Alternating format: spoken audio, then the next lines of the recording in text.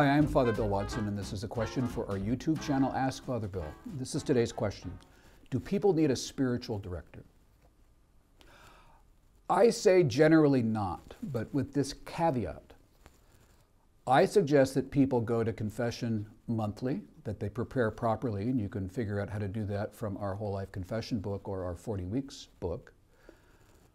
But you should go to the same priest so the person gets to know you.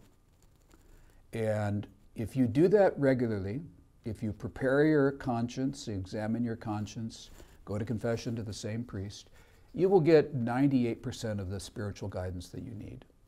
And sometimes having a spiritual director can be an, sort of an ego thing. So it's much better to be humble, go confess your sins, and let the same priest start giving you life advice. And I hope that helps.